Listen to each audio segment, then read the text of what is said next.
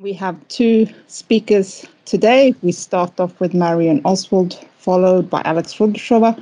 Um, and Marion um, is uh, the first of the two speakers and um, is going to start the talk. Marion, would you like to start by uh, sharing your first slide just to make sure? Sure, let me do that.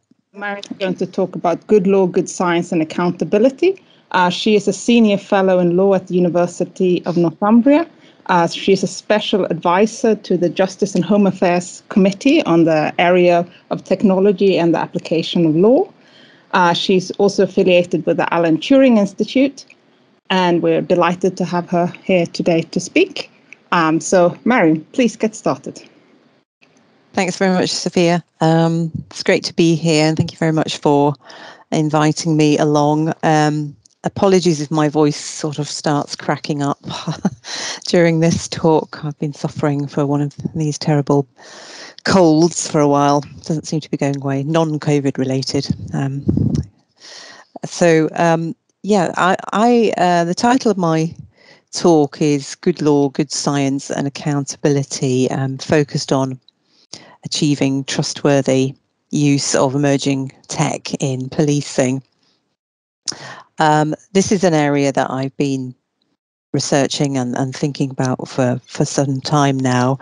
Um, and uh, there might be those who, who think uh, uh, that evaluating the use of science and um, AI and, and machine learning based on societal impacts um, might be outside the the purview of, of statistics or particular academic disciplines. But I think when we're talking about machine learning, statistics, AI, and criminal justice, we can't afford to discount the context uh, and the impact impact and the consequences of potentially tarring people with the wrong brush. It, it can be the most serious um, that there is. And the tools themselves can can really define and shape police practices and what on what the police do or don't do um, within their um, strategy and activities. So um, I'd like to first start by highlighting um, some of the opportunities and challenges that statistics and machine learning presents within policing. And it's very clear that these tools, statistical tools, machine learning, AI, can uh, very much um, enable the more effective analysis of disparate digital data sources that are often scattered about in all sorts of different data sets um, and uh, uh places around policing um, and within other agencies. And, and by bringing these together, they can very much support a preventative approach to policing rather than a reactive, a more traditional reactive approach to harm. And, and the police officers, police forces that I've engaged with have uh, a really genuine sense of a responsibility to make the best use of the data sources that they have available to them or that they can obtain. And that is a, a very genuinely held uh, view that their responsibilities under human rights legislation, under their policing powers, um, uh, really mean that they should look at, at, new ways of handling data, new ways of analysing data uh, in order to protect the public.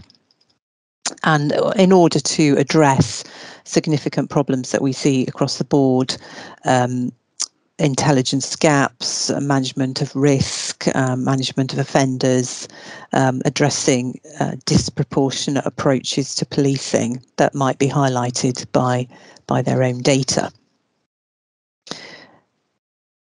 So, so that's a bit of background. Um, it, certainly in the UK, um, despite the, the positives that I've just outlined, there there are con- uh, considerable concerns about um, this issue of accountability for the uses of new technology and new methods of data ana- analytics.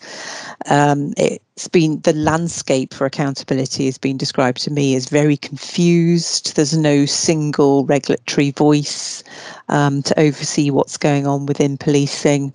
Um, in England and Wales, we have 43 different police forces that are potentially all doing um, uh, their own thing in this area and it's very much, as somebody said to me, uncertain that the police have sufficient public trust to take to take things forward on their own without being accused of marking their own homework. Uh, so th- there really needs to be this uh, increased public debate about what's going on, uh, a cataloguing of what's going on, and that might be helped by the the recent algorithmic transparency standard that's just been released by the UK government um, developing new guidance, and actually checking and testing um, our thinking um, centrally and regionally with the assistance of you know, independent um, oversight, independent bodies, uh, external experts, etc. um, Mike Rowe, who works um, works with us at Northumbria, has has argued that um, there's the type of oversight that's needed for these new methods of data analytics probably need to be sufficient, uh, you know, significantly transformed in order to really um, be adequate for the new methods of data analytics that we're starting to see. I'm involved by with one of these potential new methods of um, regulation and uh, achieving accountability, which is an ethics committee that was established about three years ago now by West Midlands Police, which is one of the, the larger police forces in the UK. Um, the reason the um, ethics committee was established was specific, specifically to work alongside the police force's internal data lab um, which is a, a, a, part of the police force that employs uh, statisticians, data scientists directly to develop um, new technologies and new ways of data analytics for the force. So, what we do within that um, committee is that we work alongside the data lab to um, review their ideas from start to finish um, in terms of sort of piloting stage uh, all the way up to uh, operationalizing um, uh, data analytics and, and new technologies um, so that there is a, a method of independent um, oversight and scrutiny of what's going on within the force. Everyone on that committee um, is a volunteer. Uh, we have lots of different backgrounds. Um, lawyers, uh, data scientists, both academic and commercial data scientists, people uh, with ethics backgrounds, people who have uh, experience of working with victims. So, quite a wide range of expertise on that committee. So, what I've tried to do um, recently is actually step back from from that committee which I chair and try and have a look at the sort of themes that have been emerging from the um, from the debates and the projects that we've we've seen, and um, I'd like to spend some time um, having a look at those themes because I, I, think they they demonstrate really the the connection between the statistics and the data science and the the way that these tools are used in a policing um, context. I mean, it's very clear that um, all these proposals and projects that have come before the committee have been um, intended to address an important policing or societal is- issue. Um, for example, um, uh, looking at uh, the decline uh, year on year in the proportion of rape and sexual offence um, cases that actually resulted in a charge and trying to work out the reasons for that.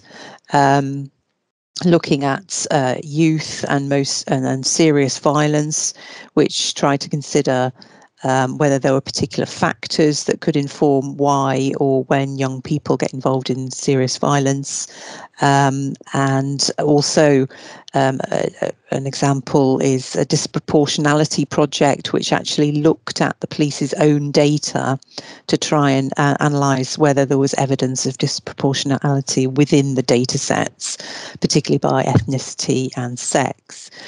Um, so there is there's very clear evidence that um, the police are not just doing uh, doing data science for the sake of it. There are there are reasons behind it, and they are attempting to address these important um, societal issues. What I think is really key, um, though, is that um, the committee um, is always very concerned about how the tool itself will be operationalized terrible word but um, you, know used in practice and what interventions in respect of individuals will result um, from from the use of the tool. So there's a real clear link between the um, you know the validity of the output and then what happens to an individual as a result um, and I think it's it was perhaps a surprise to the police representatives that that liaise with the committee that actually that is such a key point um, for committee members because I think that perhaps they expected us to focus, you know, on on the sort of detailed data science aspects. But I think it's much clearer now that there's the link. There's a real clear link between um, uh, the the validity of the output and then what happens to an individual and what you should do with that tool within within a policing context.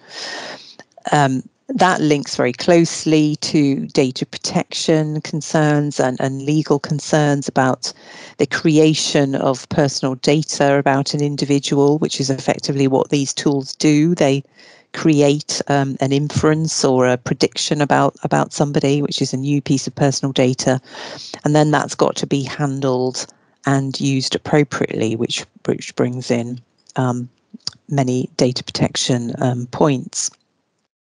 Which then, of course, links to um, how you produce the output in the first place, um, uh, whether you're using appropriate data inputs uh, for the question that you're trying to answer, um, what the uh, the validity of the output is from a statistical point of view. Um, there's been only one project so far where the committee has recommended that it does not go forward. That effectively, it's stopped. Um, and that was a, a, most serious violence predictive model, um, which did not proceed primarily based on the lack of statistical validity. It had precision rates of 38% at best. And so there was, you know, basically a, a huge concern about uh, any coercive interventions or even interventions that weren't coercive, but but an individual might think of as intruding into their into their life that could result as a result of um, an output that really didn't have, um, you know, for, even from a sort of layperson's perspective, a, a, a you know scientific um, and statistical validity behind it. As you might expect, we've been concerned about um, any potential biases within the data, and, and hence why the police themselves has tried to explore that within their own data, and um, any uh, any impact the impacts that might occur in respect of false positives for example in respect of a project that might that is trying to link people to uh, crimes of modern slavery um, having a large false positive rate in respect of those types of crimes again could have a, a quite a serious impact um, on on um, the way an individual is categorized within police systems. And finally, another theme that emerged was concern about um, vulnerable victims and individuals that might emerge from some of this data analytics and whether any limitations should be placed on interactions with other agencies, for example, immigration authorities. Because you know, once this information emerges, you potentially have to do something with it, and there are consequences um, of that.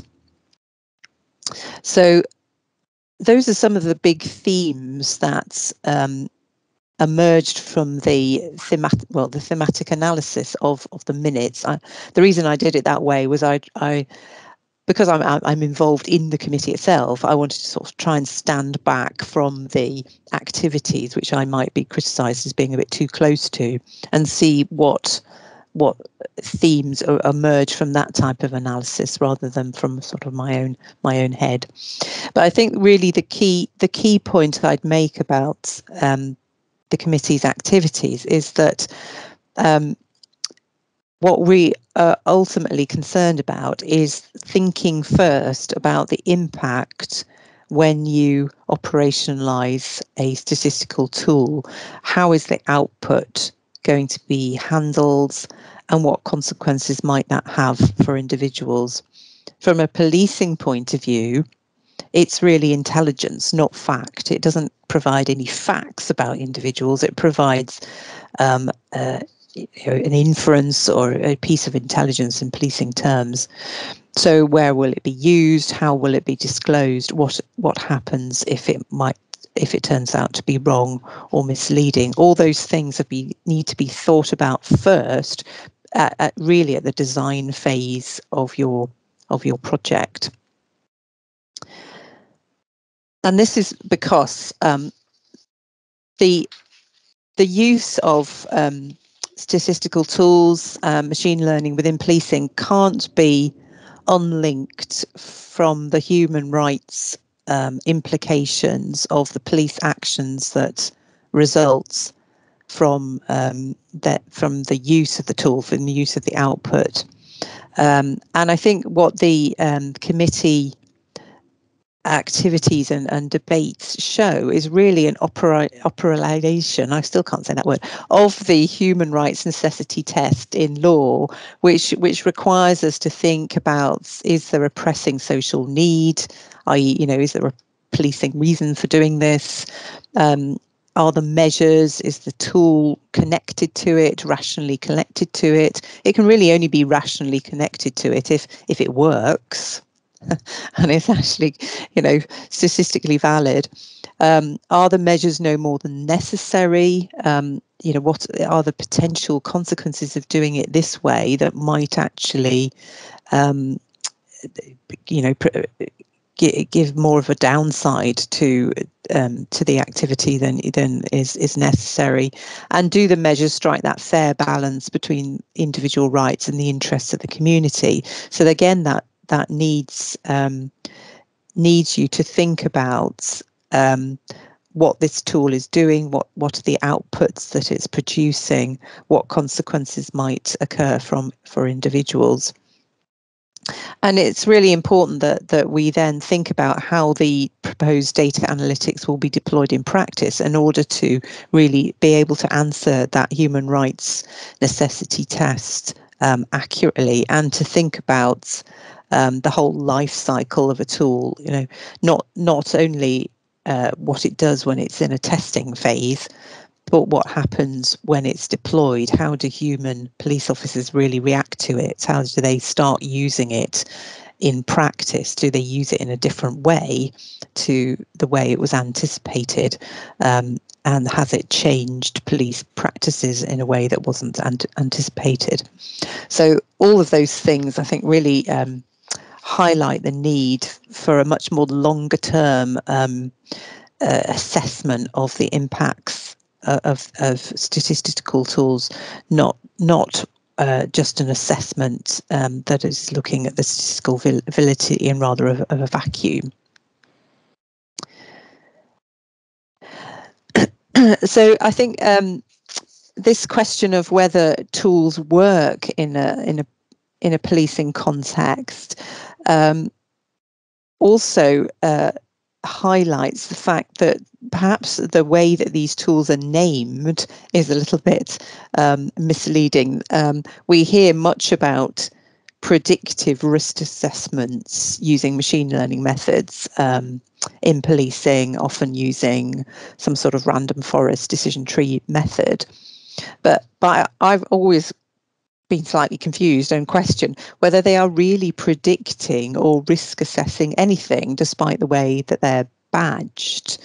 Um, this is because they use group data from the past to make a prediction about an individual's future. And so maybe they maybe it's more accurate to say that they are categorizing or comparing by comparison with certain characteristics of a group in the past and only those characteristics that can be um, translated into some sort of numeric scale or into a data point.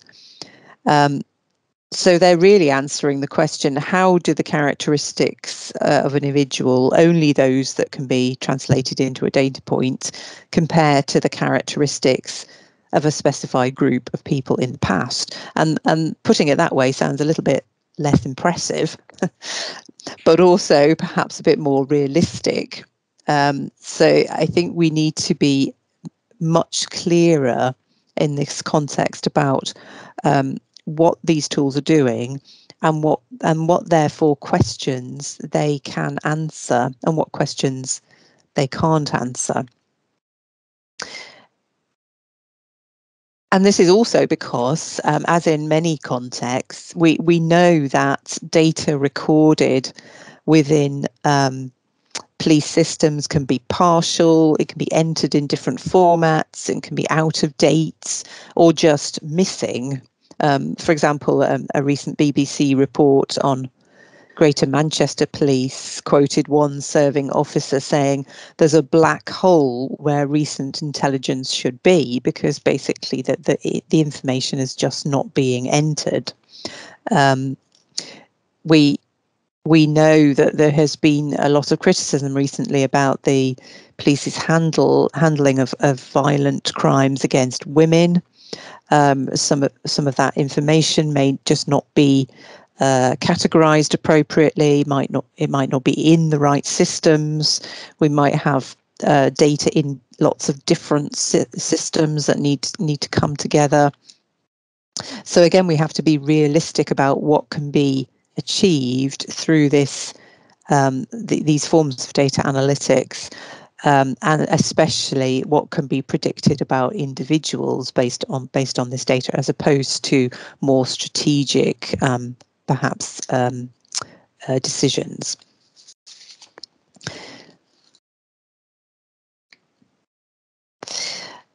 And then um, again, uh, uh, back to this question of do they work? Um, um, you, you're all much more aware of this than I am, but of course, um, high the high accuracy rates that are often quoted about uh, in respect of these types of tools can also conceal very low accuracy rates for specific individuals.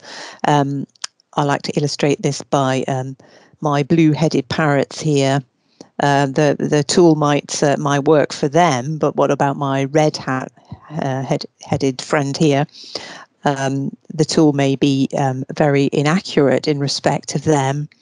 Um, and in other words, I like to quote my Sherlock Holmes, is the way I try and understand these things. Um, uh, Sherlock Holmes, in one of the stories, said that while the individual man is an insoluble puzzle, in the aggregate, in the aggregate, he becomes a mathematical certainty. You can never foretell what any man will do, but you can say with precision what an average number will be up to. And I, I, I do think that we need to keep that in mind when thinking about how these tools can be used in respect of individuals um, in a policing context. A practical example of that is um, and I, I'm, I'm, implying no criticism at all of any of the authors of this uh, tool, but it's just an example of uh, a statistical measure that um, maybe has some use in certain contexts, but not in others, as the authors acknowledge. Um, a tool called OXREC, which is the Oxford Risk of Recidivism, that's another word I can't say, tool, um, which is designed to be an interface um, for calculating individual risk levels um, for offenders and is um, currently under evaluation by the College of Policing and I think Thames Valley Police. and it does incorporate such factors as immigration status and neighbourhood deprivation of where the individual lives.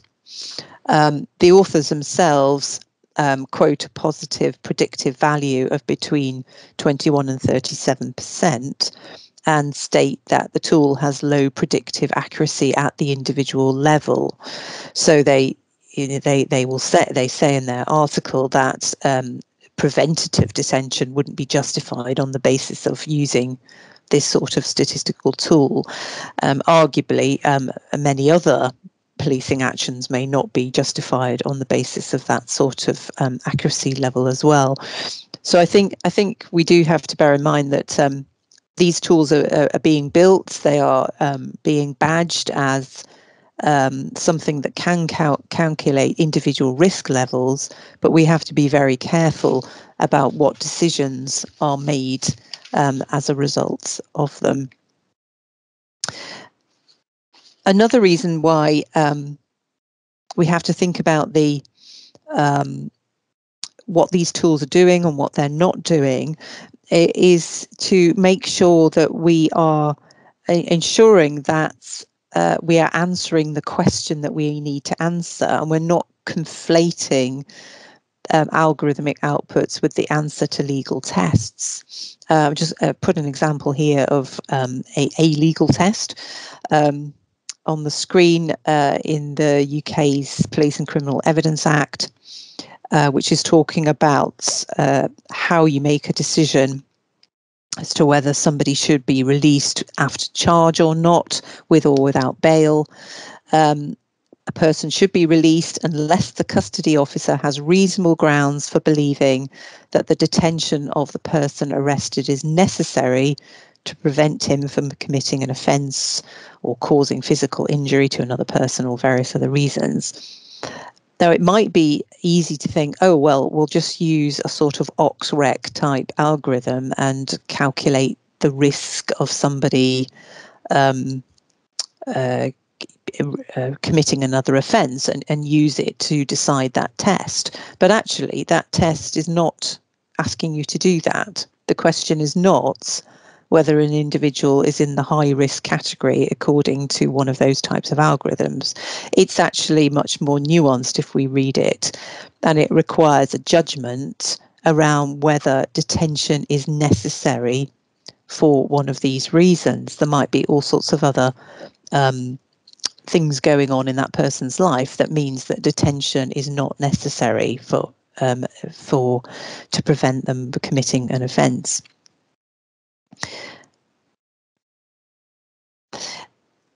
This this concept of reasonable grounds is is something that appears in the law a lot. Um, reasonable grounds for suspicion um, to allow a police officer to stop and search somebody or um, arrest somebody. And it's very clear that um, generalizations or some sort of stereotypical image of a person or a, a type of person um, cannot be used to support reasonable suspicion.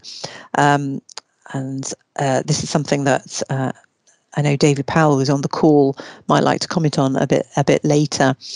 Um, so again, I think we we need to think about whether the outputs from a statistical tool that is based on probabilities or based on uh, putting somebody in a reference class could ever be used to justify reasonable grounds for suspicion, or would it fall within this exclusion of generalization or stereotypical images? I suspect it would. And so, uh, although um, uh, algorithmic tools can very much inform police activities in terms of producing intelligence or producing leads, for example. If you're going to engage in some sort of coercive action against an individual, stop and search um, being an example of that, um, I think we we definitely need to be um, very careful about assuming that the output of a statistical tool is all that we need in those circumstances facial recognition is is another good example there. Um, we tend to uh, summarize the outputs of facial recognition tools as it's a match, hooray, you know, we can go off and, you know, go and catch that person. But I've, I've put on the on the slide here um, uh, a quote from an article that I found, which actually describes what a facial recognition tool is doing. Um, I'll read it out, um, but I won't read out all the various Greek letters that were included in the calculations because that would be beyond me, I'm afraid.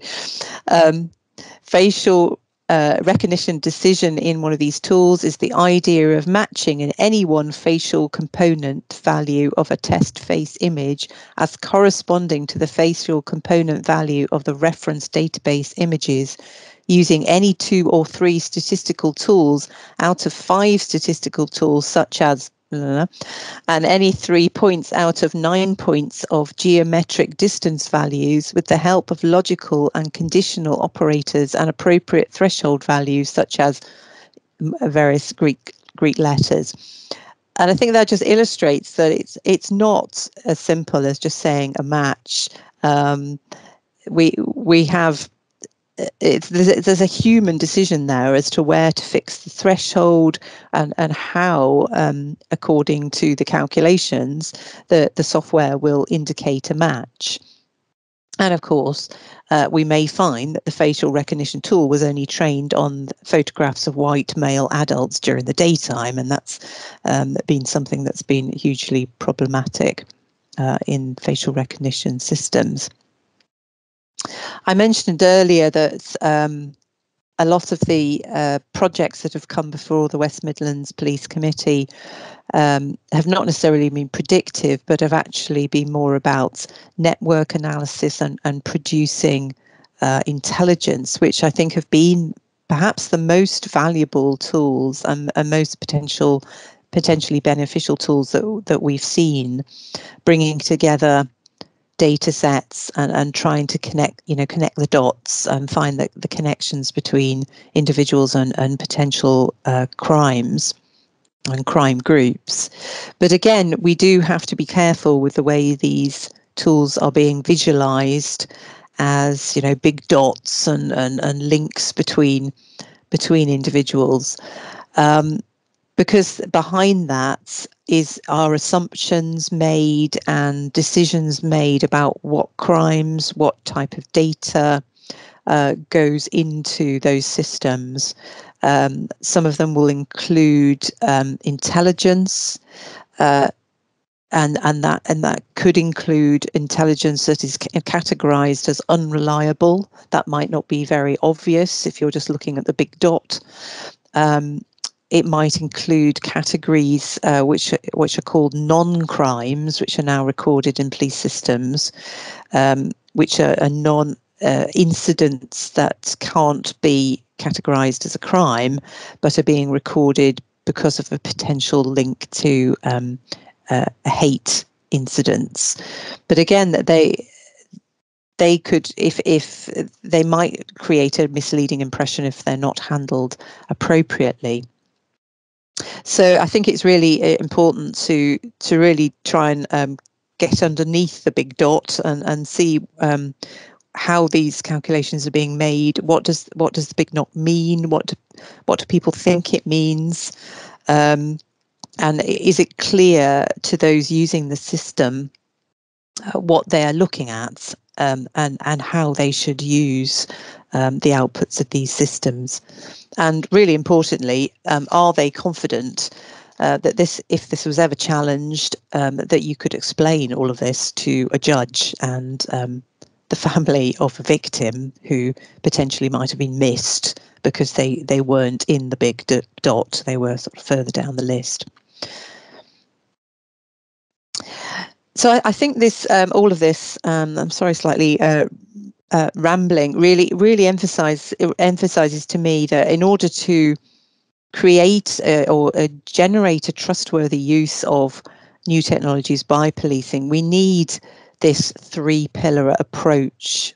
Um, lo- a clear law that has guidance in, interpreted for the relevant policing context, uh, but really important in the middle here scientific standards and standards about the use of um, statistics, the use of data science that really appreciate that policing context and can help um, police officers understand what they are looking at when they when they receive these um, calculations.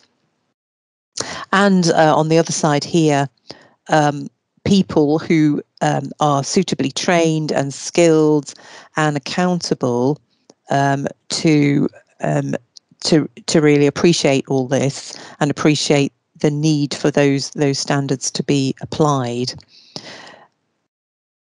Um, my, the committee that I chair is called an ethics committee, but I think we do we do sort of more than ethics really. Although ethic, ethical debate within the committee is been really important for reflective practice and, and, and exploring where the boundaries should lie.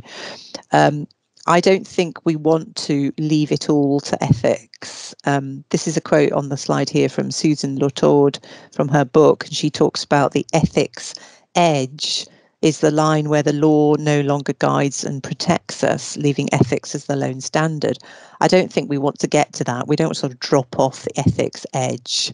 Um, in fact, I think we need we need the law and the scientific validity to come in first because and the ethics to guide um, guide how we deal with that but we can't uh, leave it all to ethics the scientific side is so important here and it links so so clearly to the um, uh, you know to how we interpret the human rights tests and how uh, policing should use these systems so that the, my final thought is that we are really in in it together. We're all all in this together.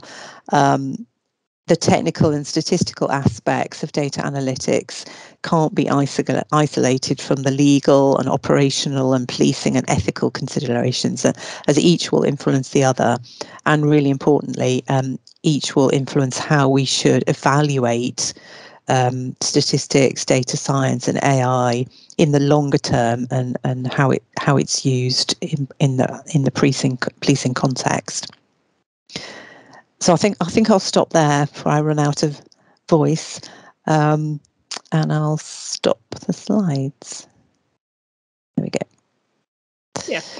So we already have a question from Jay. Um, you want to see your video as well, Jane, so that Ryan can see. Thank you.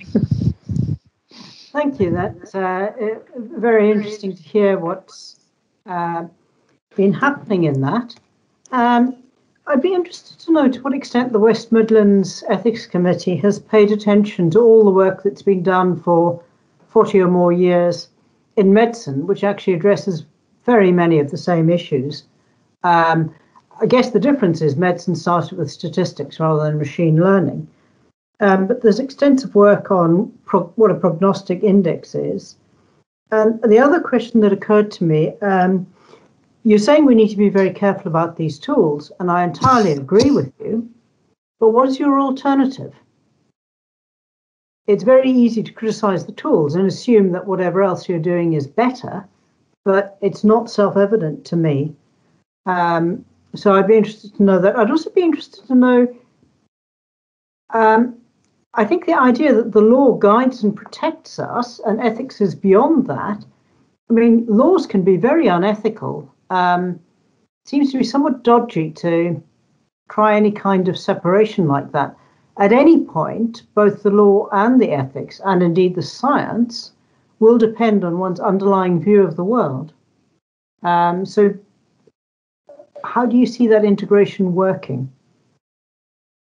Yeah, I'll start with that and I'll work backwards. um, no, my my my uh, my three pillar approach, as you may have seen um, from the slide, does not does not have that separation. In fact, it has have ethics very much incorporated into that three pillar approach. And having chaired the ethics committee for the last three years, I'm actually very strong believer in in the benefits that that ethical review has actually achieved. But I think it is a it is a combination of different things that we're doing within that ethics committee. Um, there is an ethical um, consideration of the consequences of using using these tools and and the consequences of not using them um, compared with the the current um, ways of doing things. Um, but it is also uh, highlighted to me that the, the science and and the law integrate very much with that those considerations. So there is a very much of a combined approach within that committee. Um, in terms of not doing um, the data science, um, I actually agree. I'm very supportive of um, a lot of these initiatives that are going forward. And I, have um, been very much impressed with some of the, the benefits that have um, come from integrating a data analytics approach and combining data sets because you can basically see new information about vulnerabilities um, and other issues. Uh, what what we do need to do, however, is make sure that they are being properly evaluated, and um, the uh, what what we're perhaps missing in in the policing context at the moment is is methods of evaluating, and that's actually something that I think we could potentially learn from the medical context. Is actually learn um, and integrate uh, more systematic methods of evaluation, and that's um, something that I suspect will come out in some of the uh, more recent debates around around this. Well, basic so, randomized controlled trials and, and adopting yeah, the same standards. Yeah, yes. yeah, yeah. So hopefully I've, I've covered all your questions. Thank you very much. Um, thanks very much, Jane. Uh, Eugenie? Hi, yeah, so um, that was really fantastic talk. Thank you. Um, really great. Um, and so I'm trying to put my hand down and it's not working. There it goes. so um, I'm just uh, taking on an EDI role with um, the Royal Statistical Society starting, uh, I don't know whether it starts now or in January, I'm not quite clear on that. But um, one of the one of the things that I, I would really like, and I think that there's a, a lot of uh, already momentum in the society to to take on is issues around EDI and algorithmic bias, right? Um, and one of the main things that be, I think it's important for for the society to think about is how do we educate our students and how do we educate our researchers on how you know on on I mean, I think that on the one, you know, on the one hand, there's sort of the statistical tests we can imagine talking about, right? But I think that there's been a lot flagged up in your work and in other people's work about um, the need to to do effective communication, to be working in teams, not to be thinking of it as something that your group does here and then feeds there, but that it needs to be. So how uh, you know what what would you recommend as some sort of main things that we should consider either providing in in a course for statisticians as part of our professional um, training, or you know trying to develop materials for people to integrate into their undergraduate teaching? I think that that's a great question, and um, yeah, it's something that I think if, I think a case study, you know, case study approach might be um, really interesting for students. Um, um, I'm just just thinking about the the committee proceedings. I mean, all all of the papers, for example, are available online, uh, you know, all publicly available, um, including some rather long, um, long documents, you know, explaining the ins and outs of, you know, the methods behind some of these Do you, projects. Could you put a link in the? Yeah, I'll I'll put a link. Um, so it it for students it you know giving them an example of here's a real life project. For, uh, you know, he, go away and read this 60-page document, which the committee members have to um, every three months, um, and you know think about how it would be used in practice. You know, what what what would you do, or you know, how do you think they're using the right methods? You know, what are the implications of a police officer taking the output, for example? I mean, that that might be an interesting way of just getting um, students to start to think about the real the real life implications of of using different methods. Uh, because the data lab often is thinking about different methods and they will experiment with different methods and put their conclusions in the papers um, and and why they've chosen a particular type of method. Yeah. Uh, so so I mean that might be a, an, a way of incorporating incorporating that. Yeah, that would be great. And maybe Jane could suggest um, some suitable case studies also from um, from medicine, because of course that's another area that you know that bias can come in, and you know there are all the you know well-known story about um, more ill uh, less wealthy people being recommended for uh, less treatment than more wealthy, less ill people, right? Based on the fact that, that that's what they'd gotten in the past, right? So, um, I think what's important, I mean, we've got our students doing um, a project on stop and search data uh, and thinking about bias, but the first thing you have to do is define what you mean by bias. So, the statistics and the law section, which I chair at the moment, did produce a detailed discussion of the problems with um, knee-jerk responses to algorithms. Um, and yes, I've certainly taught uh, ethics for actuarial science, where I've uh, challenged students to take a scenario and write about it from presenting both sides of the issue from at least two or three of the major ethical theories. I mean, I don't buy into the, the US seems to believe in medicine that, that ethics started in 1960 in the United States, which uh, is not entirely accurate. Um, Didn't everything, I do, I do think it's every important. come from the United States?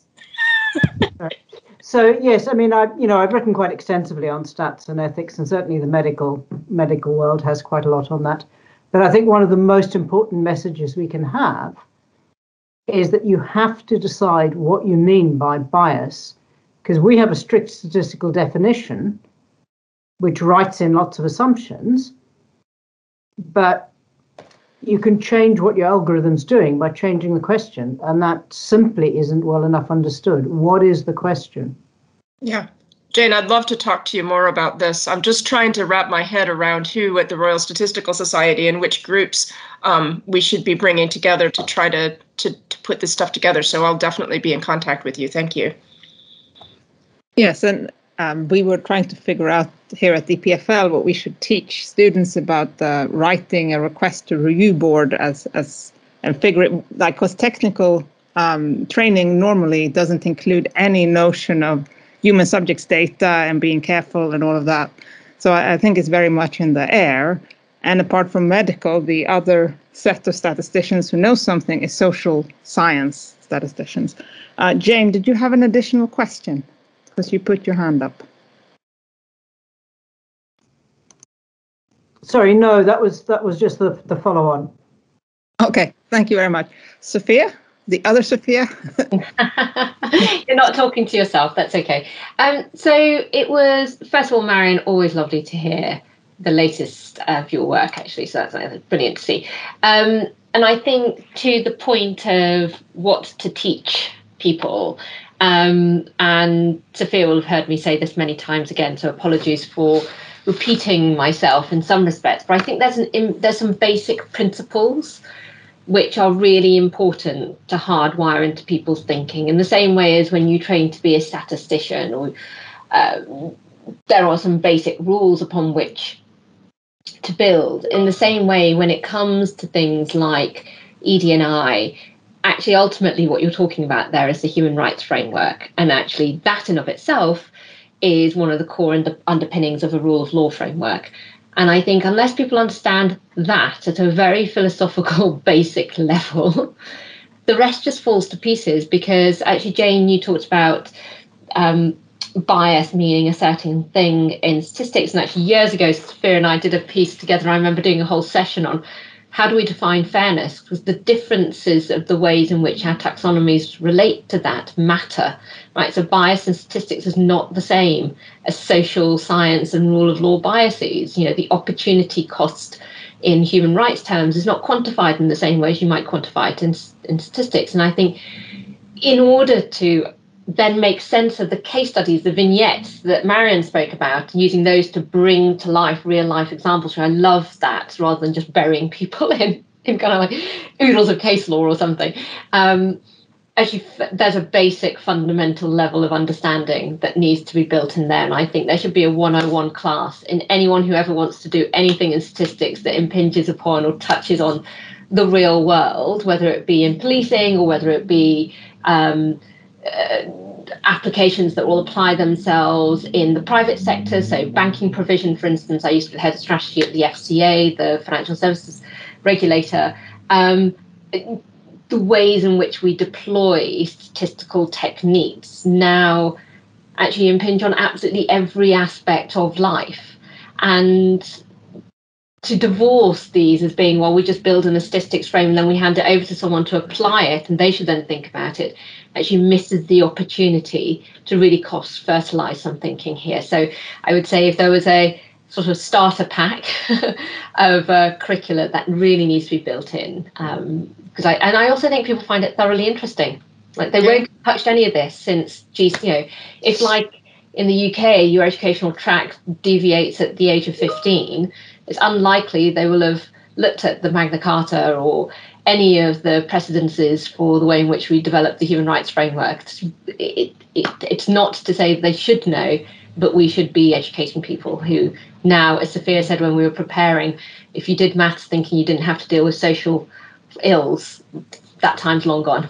yeah, yeah, I agree. Right. I think that's really um, important. Well, I think I'm going to come back to you as well, Sophia, then, because as I said, I think we're really, um, I'm going to try to pull together, you know, in, in a working group or advisory group, uh, possibly one of each, uh, to think, as I said, in the first instance, probably for what we could put together for a short course to be offered by the Royal Statistical Society as part of its professional training, professional development, and professional training. Mm-hmm. Um, and it's also, I, yeah, I was just going to say, I know that. Um, Birmingham have established a MSc in responsible use of data science. Oh, okay. It's actually designed for your reverse cohort. It's for legal practitioners who are moving into the use of data science, and it's designed to help um, them understand good use of data and responsible use of data. But it might just be worth connecting with that team because I think there's quite a lot of. It, it does need to be connected because, of course, the stats and the law section knows how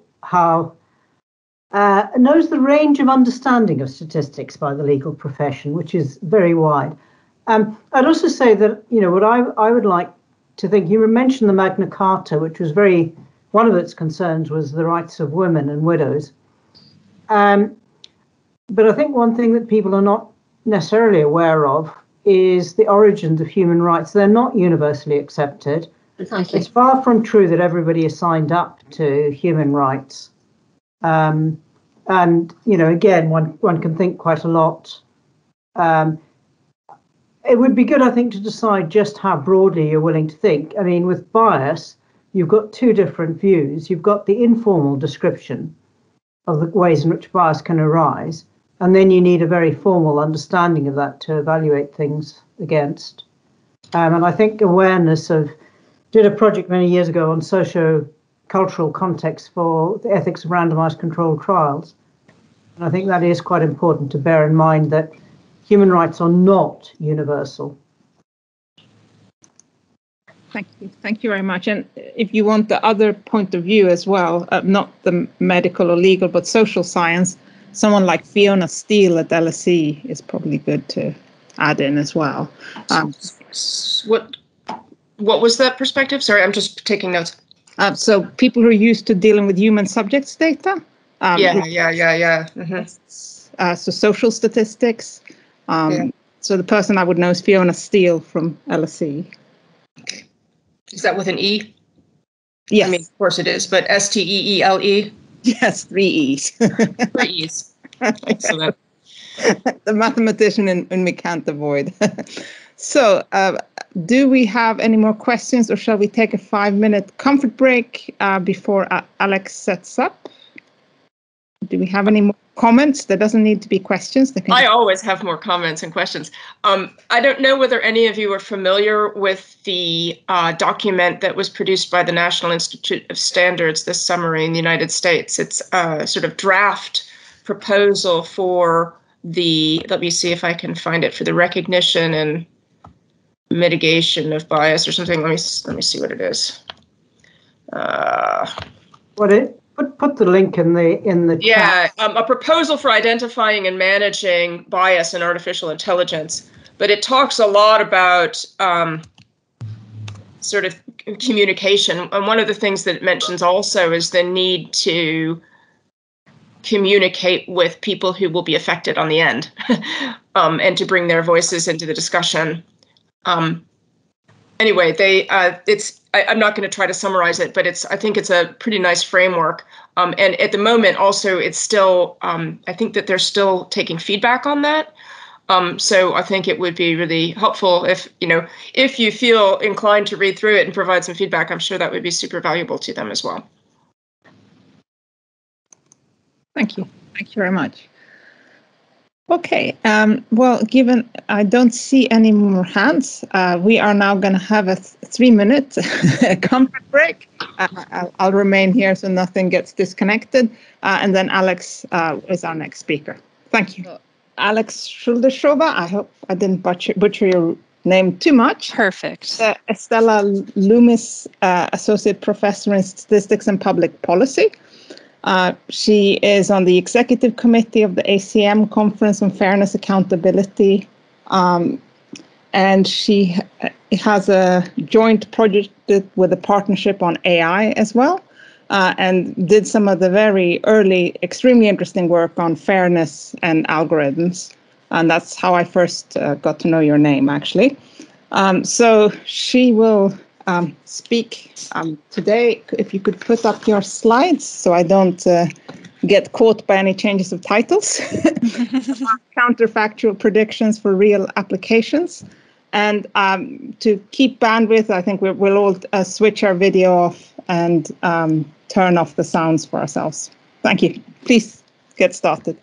Fantastic. Thanks, Sophia. Um, just to double check, can everyone hear me and can everyone see a full screen version of my slides? I can hear you and I can see a full version. Everyone else has switched their sound off, so they can't tell you. Fantastic. I'll, I'll, assume that that's a yes then. Um, so, hey everyone. So, I'd love to thank the organizers for inviting me to speak today, and also thanks to everyone who's uh, stuck around or joined in um, to attend. So, in today's talk, I'll be picking up on some of the themes and concepts that uh, Marion has already introduced. Specifically, I'll focus on a common pitfall and how certain kinds of algorithmic tools are trained and evaluated, and I'll also present a statistically sound alternative that's been part of my work with um, my PhD student Amanda Coston and other collaborators. So, throughout this talk, I'll be discussing risk assessment instruments, which uh, Marion has already introduced, but I'll just make a formal definition here so we're all on the same page. Um, these are algorithmic tools or statistical models, commonly logistic regressions, that estimate the likelihood that a person or a case will go on to have poor outcomes. These sorts of tools are used widely to inform decisions in domains such as lending, child welfare, criminal justice, healthcare, and other settings. And while all of the domains that are represented on the slide, at least, are ones in which I'm currently doing work to some extent, today's talk is going to focus primarily on the child welfare context, though there's really nothing about the methodology that doesn't readily apply to these and many other settings. Um, so, with that, let me give you a bit of background on the US child welfare system and our call screening work in Allegheny County. So, when I started this work, one of the things I was really surprised to learn about is just the expansiveness of the system. Um, I was personally surprised to learn that over one in three US children experience a Child Protective Services investigation by the age of 18.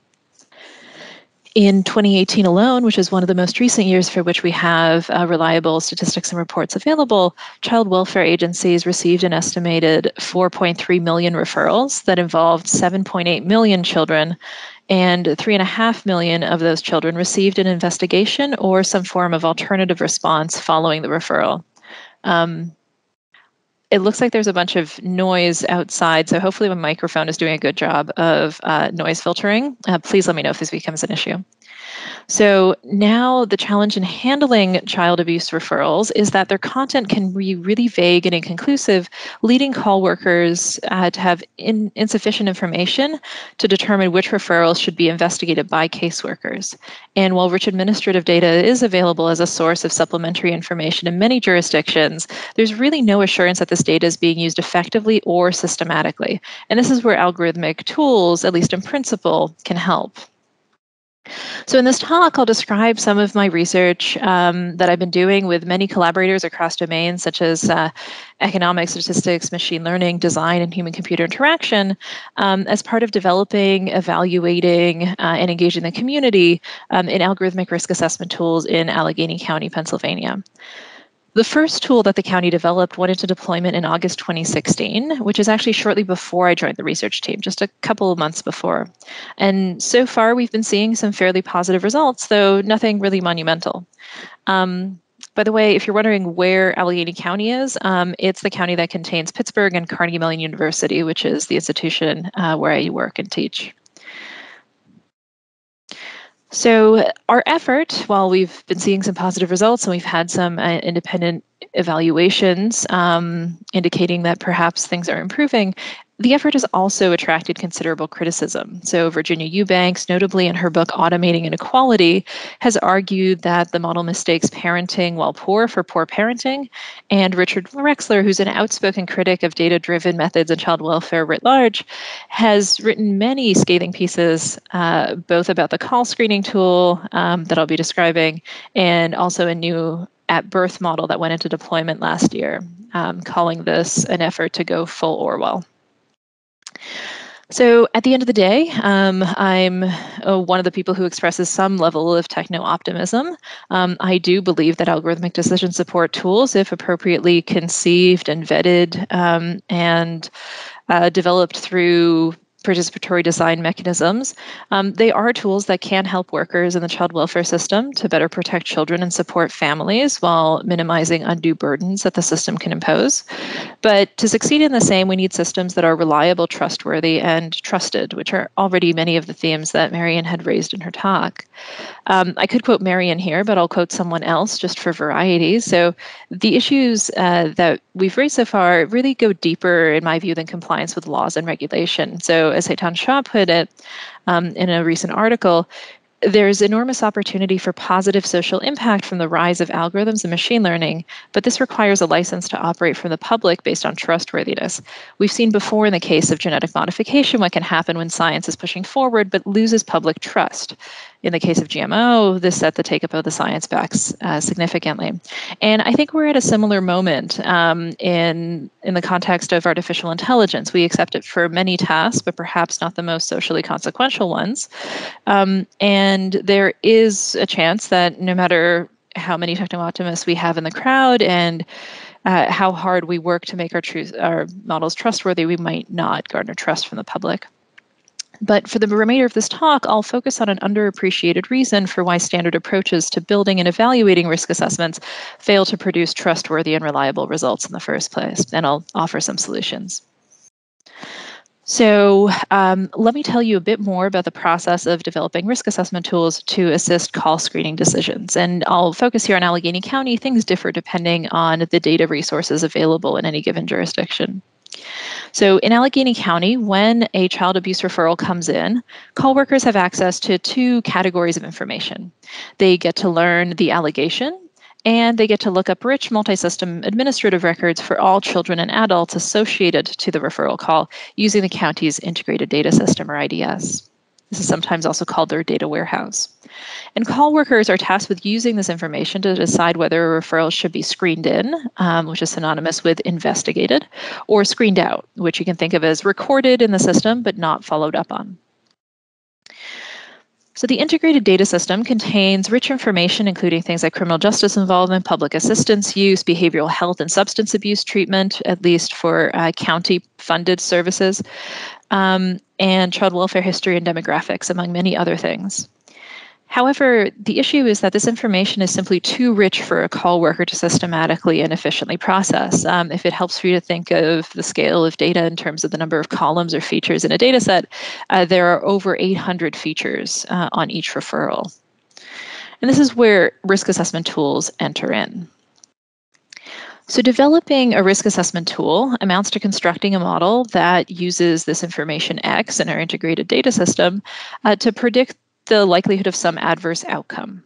So the standard, what we call observational approach, does this by just looking at the historical data and taking Y to be some proxy for harm, such as substantiation uh, of the allegation re-referral, um, removal from the home, hospitalization on child abuse related code, something like that, and regressing it on the X's, the features that are available in the administrative data. As I'll discuss now, this observational approach to model training results in models that are not reliable. So while this is the uh, most common approach, this is not one that we advocate people to use. And the issue is that while these models may be informative about historical decision making and outcomes, they're ill suited to guiding future decisions. So let me illustrate that with an example. So the problem is that observational models fail to make decision relevant distinctions. So let's consider here the case of a girl who's shown in the first row whose risk of adverse outcomes according to this model is 0.97. And perhaps this is even an Oracle model, so um, it's as good as we can get. And then we have a boy in the bottom row whose risk is just 5%. So now let's ask the question of should we investigate these cases? In the first case, uh, the model tells us that the girl is at extremely high risk of poor outcomes. Um, and so, yes, we should investigate. Uh, this child is at high risk of harm. How about in the second case? So, one might be inclined to apply similar reasoning and say no, because the child is at low risk of harm. But that's actually not right. So, we might want to investigate this child anyway, because the child may be at high risk of harm if we don't. So the problem is that these observational models that assess harm in the observed data tell us who is at high risk under the historical decision making processes. So, in particular, such models do not distinguish between children who are generally low risk, these are children who we would not want to investigate, and those who are low risk precisely because they're the types of kids we've historically been identifying as high risk and successfully targeting with risk mitigating interventions. So, um, this risk could be 5% because if we stop intervening on children such that are represented by this boy here, their risk would be much higher. But we have successfully identified them and intervened in the past. And we can see this sort of issue in practice. So shown here is the risk distribution for an observational model trained to predict the likelihood of re-referral uh, within six months for four different subgroups of children in the historical data. So the first subgroup is those who were screened out or not investigated, and that's the green curve. Basically, I'm plotting the p hats or estimated probabilities of re-referral uh, for four groups of children. The second group is that is the yellowish group, so those are those who were investigated. The purple group uh, with this lowest risk distribution is those who were provided with services intended to stabilize families and mitigate risk. And this uh, dark orange curve over here is those who were removed from the home and placed in foster or kinship care. And what we see here is that what this observational model does is it uh, it produces a risk distribution so that for those who receive services, this pink curve to which the arrow points, those had among the lowest estimated risk levels. And this is likely because those services help to mitigate risk as they are constructed to do, rather than a systematic error in offering services primarily to already lower risk families. So, following the, rock, the recommendations of such a model would result in families who typically benefit from services no longer being offered those services because they're not screened in at the outset. And furthermore, such recommendations might and, in fact, should degrade trust in the tool overall. So, repeatedly seeing families who you know need services being recommended for screen out on the basis of a low risk assessment would rightly make you question the tool's reliability. So, what we really care about is counterfactual risk. There isn't just one risk, there are at least two. So, there's the risk if the child is screened in, if they're investigated, and the risk if they're screened out. So for the previous case, what we might have is the following. The first child may be at high risk regardless of what we do. Her risk may be 97% irrespective. But the second child may be at high risk of screened out, that is, if not investigated, but very low risk if uh, investigated and then provided with services. So, what's the action that we would want to take in each case um, given this information? So, in the first case, our our decision would not really change. We would want to investigate the child as a high risk of harm. But in the second case, the answer now is quite definitively yes as well. This child is at high risk of harm if we do not intervene. So when we look at our data, what we should have in mind is a potential outcomes view. There's some outcome that will be observed if the child is screened out, and a potentially different outcome that would be observed if the child is screened in. Only one of the decisions is observed to be taken historically. And what we get to observe are Y, our outcome, is just the potential outcome corresponding to the decision actually taken. So, if we want to inform call screening decisions, and you can think of a parallel story um, in the medical context where these issues are well understood, uh, or criminal justice, um, what we really want is a counterfactual model that estimates the risk of adverse outcomes under screen out. So, observational models instead target the observed risk, which marginalizes inappropriately over the decisions historically taken. And what we really want is to target this counterfactual outcome. So the challenge, of course, is that we only get to observe what happens under screen out for the cases that were actually screened out, which may not be representative of all cases in the population. And this, for those of you who have worked with causal inference before, is the fundamental problem of causal inference. So we can compare the results of a counterfactual model that predicts risk under screen out, and I'll tell you a little bit more about how we obtain this um, to the observational model that we saw before. So the counterfactual model, which is now shown here in the top panel, assesses children who receive services following screen-in as being much higher risk than the other groups. Right? So that's the, the pink curve here. You'll see that um, the those who um, are placed in foster care and those who receive services, the groups that are most heavily intervened upon, now have the highest risk distribution if assessed as the risk under no intervention. So that same services group, that pink curve, is assessed as among the lowest risk by the observational model. That's the what we saw before. And so these different modeling approaches result in very, very different risk assessment instruments and very different rankings. And so these issues that we're flagging regarding the commonly used observational approaches to training risk assessment models, they really do have considerable implications for practice. These aren't minute differences. These uh, significantly re-rank um, the individuals under observation. So similar pitfalls that we've just described in the model learning phase, so when we're developing our risk assessment tool, also impact model evaluation and fairness assessment. So the standard observational approach, which predicts the outcome Y and evaluates against that observed outcome, not thinking about the impact of interventions, and assesses the predictive bias with respect to how well we are predicting or how equitably we are predicting that outcome, it gives us not the right information. So, observational learning tells us the likelihood of adverse outcomes under the observed historical decisions. So, perhaps it can tell us who's high risk despite the actions that we may have taken in the past, um, but it's not really informative for future decision making. Observational evaluation answers how well can we predict the observed outcomes of the historical decisions, not how well we can predict, or in Marion's terms, classify an individual based on their characteristics um, to a likely future outcome.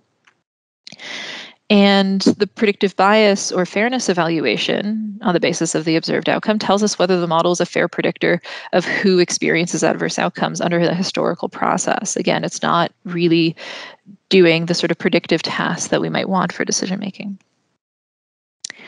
So, since I've talked about fairness very briefly, let me use this as an opportunity to detour into common ways of thinking about algorithmic fairness uh, to those of you who have uh, not uh, become familiar with this before.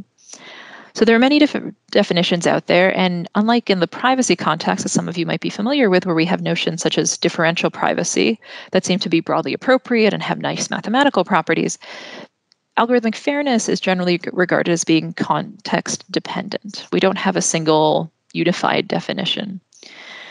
So for notation, let's say we have a group indicator G, um, and so this could be, for instance, gender or race ethnicity, a continuous version of our predictor S. So let's say that this is one that outputs probabilities. This is our risk score, so S for score, and a classifier Y hat, which you can think of as being a thresholded version of S.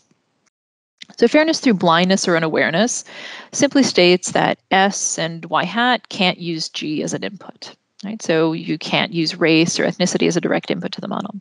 And this type of fairness that um, some might say that legal prohibitions against the consideration of race, gender, or other protected attributes would appear to require, though uh, it's actually not clear that that prohibition applies to tools in this sense. The notion of statistical demographic parity says that individuals from all groups should have the same likelihood of being classified as positive. So, if we have some sort of threshold that we're classifying um, children above um, some threshold uh, on S, so at uh, so we're classifying children above some threshold um, to be high risk. Then what this is saying is that the proportion of children uh, classified as high risk should be the same for Black families and white families. So individual fairness um, is another criterion, and this one looks a little bit different. It formalizes the intuition that similar people should be treated similarly. So it's essentially a Lipschitz condition, um, mathematically speaking. And here, what you should envision is that you have some sort of metric on the space of potentially randomized decision functions S and a similarity metric D that tells us how similar two individuals are for the task at hand. So, in a graduate school admissions process, D might place high weight on undergraduate GPA and math background while ignoring uh, characteristics such as age and athleticism.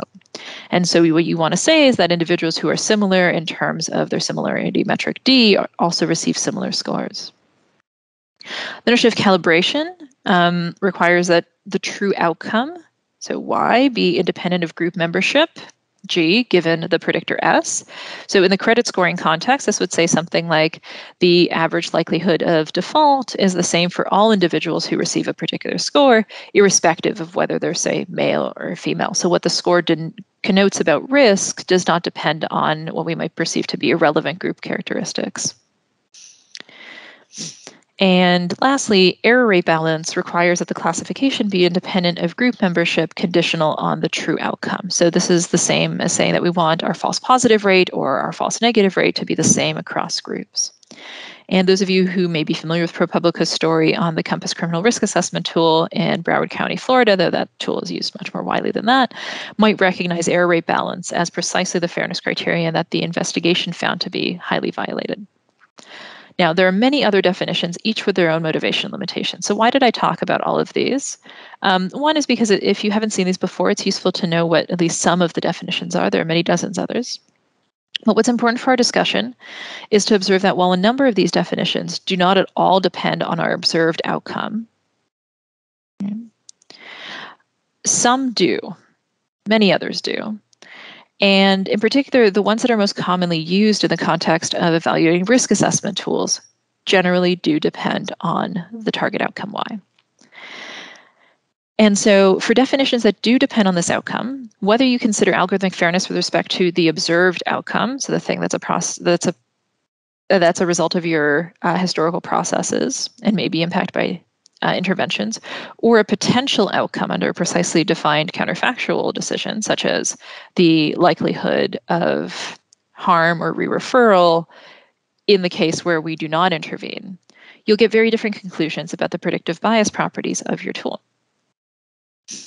So, what we propose in our work is a counterfactual approach, not just for learning, but also for evaluating and performing predictive bias assessments that ask the same sort of questions about learning, evaluation, and fairness in reference to a specific decision relevant counterfactual. So, in the call screening setting I've just described, this corresponds to focusing on a risk under screen out. So, we are interested in assessing the likelihood that a child uh, will have adverse outcomes if there's no investigation we want to understand how well our model predicts uh, individuals' outcomes under no investigation. And again, we want to assess the predictive bias with respect to this counterfactual. So the challenge, of course, is that this outcome is not observed for cases that are, uh, unless the case is not investigated. So if the case is investigated, we don't get to observe this outcome directly. So the analysis um, that we carry out in our in our work and argumentation theoretically and empirically demonstrates the pitfalls of the standard observational approach. We show that observational learning underestimates the risk of those who are receptive to treatment. Observational evaluation may show superior performance for models that are poorly aligned with our decision making goals and would find, for instance, that a perfect classifier, if such a thing existed, actually had a high false positive rate. And observational assessments of predictive bias, importantly, will mistake disparities in historical decision making or treatment and intervention effectiveness for model bias. And these are things that are important to deconfound. And our paper presents ex- uh, experiments on both synthetic and real world child welfare data to show that the observational approaches can give very misleading conclusions. Um, we instead um, both draw attention to these issues and present doubly robust estimates of counterfactual versions um, of common evaluation and group-based predictive bias metrics used in risk assessment and we demonstrate both theoretically and empirically how the sorts of fairness promoting interventions um, that have been introduced in the machine learning literature that are typically geared to fixing observational disparities can actually make things worse and exacerbate or induce um, unfairness with respect to the decision relevant counterfactual outcomes. So there's a fair bit of related work out there, both in the statistics um, and machine learning literature. And I'll just highlight a few more recent uh, references.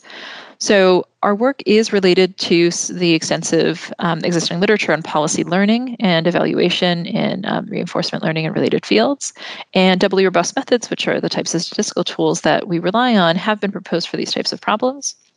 The key difference between our work and this policy learning literature is that we are uh, is that in decision support contexts, we're not seeking to learn a policy that will autonomously take actions or even recommend actions. Um, indeed, research has shown that in most cases, users of these systems want the algorithm to provide information such as a risk score or some numeric score, traffic light uh, type of scale rather than to recommend a particular action. So we are learning and evaluating probability estimates, not policies. Our work is also somewhat related to the recent work on counterfactual fairness, though the connection there is mostly in name rather than in specific methodology. And the key difference here is that the literature on counterfactual fairness considers counterfactuals of the protected attributes, such as race or gender, not of the decision taken. So those models are useful for understanding if, for instance, a decision or a model prediction would have been different, say, had a child gender been different. But we, on the other hand, are considering counterfactuals of the decision. And counterfactuals of attributes are viewed by many as ill suited to the risk assessment context. So, for instance, in child welfare, we know that girls are more likely to be victims of sexual abuse, but we would not want in our modeling or assessment uh, to artificially deflate girls' scores or inflate boys' scores in assessing risk um, and in informing investigation decisions just to achieve some sort of parity um, with respect to gender in this way. So, let me provide you now with a high level overview of the technical details of our identification and estimation strategy. So, in our setting, the target quantity we wish to estimate is the likelihood of poor outcomes under the baseline intervention. So, in this case, is uh, saying estimate for me the likelihood of, say, re referral or some other outcome. Um, given characteristics X in the case where I am not going to intervene right? So no investigation. So now we don't observe uh, why not in all cases. We don't observe the uh, the outcome under no investigation unless the case was historically screened out, and even there, that's because of an identifying assumption. So, to make this quantity identifiable, to be able to estimate this um, naught from our observed data, we're going to make three standard uh, identifying assumptions. The first is consistency, which says that the observed outcome um, is Y1 if uh, the child was investigated, Y0 if not. And this is the sort of um, assumption that's reasonable for us, but it can be unreasonable in vaccination studies where, for instance, your outcome depends not just on your vaccination status, but on the vaccination status of those around you. We'll also assume no unmeasured confounding, which says that we have measured in our features X um, everything that affects both the decision and the outcome. So, conditional unmeasured features X, the historical treatment decision is as good as random. And this is often a strong assumption. Um, And in our setting, we know that call workers have information uh, on the call itself that is not recorded in our administrative data system in the features that we use. Um, but we actually have a fair bit of information that we could use to further test this assumption. In particular, we do have unstructured text uh, text data as well, and we're curious to explore the the soundness of this known measured confounding assumption. And lastly, we're going to assume weak positivity, which requires that in all ca- that all cases have some probability of being screened out. So there aren't any cases that are systematically screened in. And we know for fact that in roughly 20% of cases, this assumption is violated. Um, that's because certain allegations, including those of sexual abuse, are legally mandated to be investigated. There's no discretion on the part of the call worker for allegations that are serious enough or fall into particular statutes. Those are simply excluded from our analysis because our risk assessment model wouldn't be used to inform decisions where there's no discretion in the first place. So for all other cases, we need the assumption to hold. So let me walk you through um, some of the technical details. So under those identifying assumptions, uh, we can learn a model um, to predict the counterfactual risk, so the likelihood of poor outcomes if we don't investigate given um, the features X just by using those cases that were observed to be screened out. But now, what if we are in a situation where not all confounding variables can be used in the prediction model? So instead of having no unmeasured confounding, which means we've measured all factors that jointly affect the historical decisions and the outcomes, and they assuming that those are all reasonable inputs to the prediction model we're actually going to uh, say that we're in the setting of runtime confounding right? so in our 2020 paper uh, we introduced runtime confounding to describe the setting where the features x that we have measured actually break down into two components z and v so Z are measured, but for one reason or another cannot be used as inputs to our prediction model in real time. Our prediction model can only rely on features V. And I've just realized this is probably my first time uh, actually referring to the features as Z. I've become a proper American um, and have rid myself of the Canadian Z pronunciation. So, and uh, in time for uh, the right audience for this as well. So runtime confounding can arise for a variety of reasons. So perhaps Z or Z um, is very complex or high dimensional, such as um, if we have natural language in the hotline call. So if the resulting model is required to be simple or interpretable or easily calculable by a human, it may be undesirable to include those text features, even if that text data actually provides us with important information um, and important confounding information that uh, helps us to better model the decision. Or Z could be a sensitive feature like race, which may have influenced historical decisions and outcomes, but which is not permitted to be used in a risk assessment model. And as a final example, um, there could be timing issues in the process. So the decision process may necessitate that the risk score be made available to the decision maker before all other decision relevant features have been measured. Maybe we need to assess it early. Um, even though other factors are known and later recorded that influence decisions. So what can so um, what can we do in this case to get a valid counterfactual model that predicts the likelihood of adverse outcomes um, using only features V at runtime? So one might think that a possible approach is just to regress Y on V in the cases where we observed um, uh, screen out, right? So where t equals zero. And the issue is that because the confounding variables z are being ignored, this model is confounded in much the same way as the observational models we talked about at the start of the talk.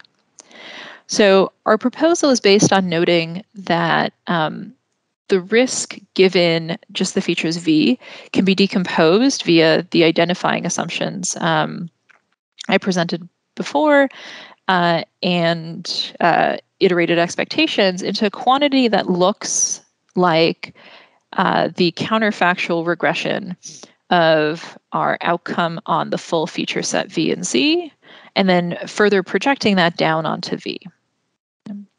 So what this suggests is basically a two-stage procedure where first we build a counterfactual model just to obtain pseudo outcomes based on Z and V combined, and then we regress those pseudo outcomes to project down onto just the features V. So essentially we build a counterfactually valid model and project that.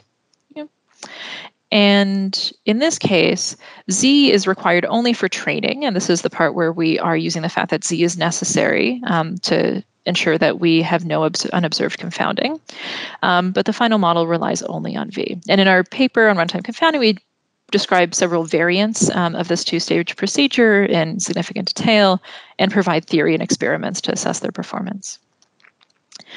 So now that we've discussed how to build these counterfactual risk assessment models, let's talk briefly about evaluation. How do we actually evaluate these models with respect to counterfactual outcomes rather than the outcome we observed historically?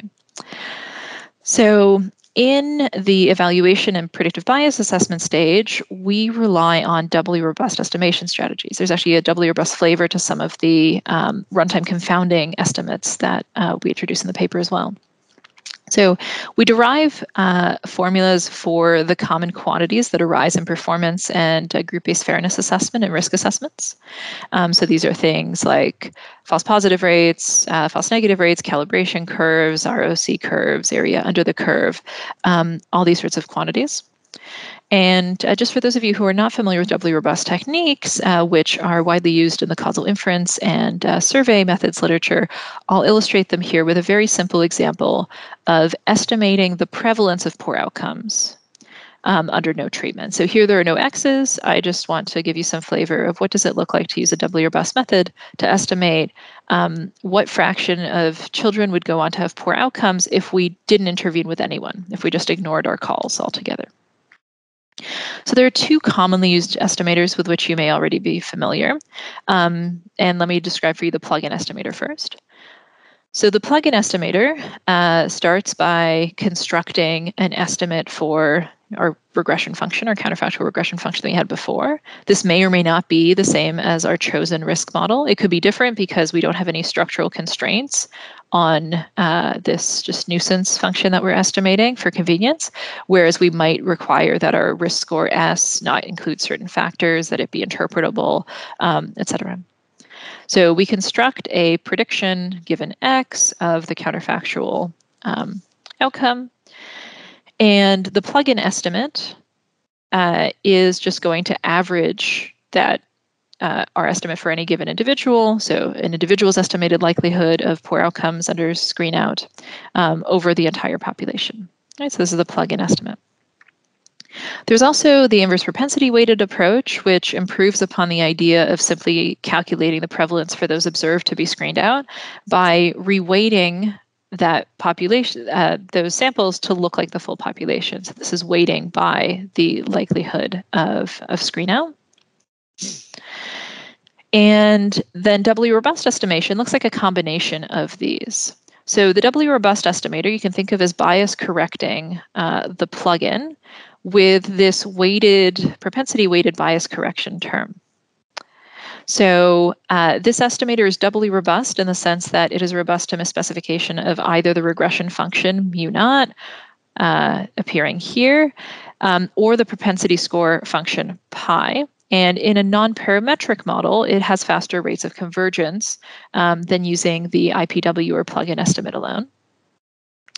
And furthermore, under sufficiently fast convergence of those nuisance functions pi hat and mu naught, you can compute asymptotically valid uh, uh, normal confidence intervals for these doubly robust estimators. So in our work, what we do is we use this sort of strategy not just to estimate prevalence, um, but to estimate all the common evaluation metrics that are used to assess the predictive bias of risk assessment tools in practice.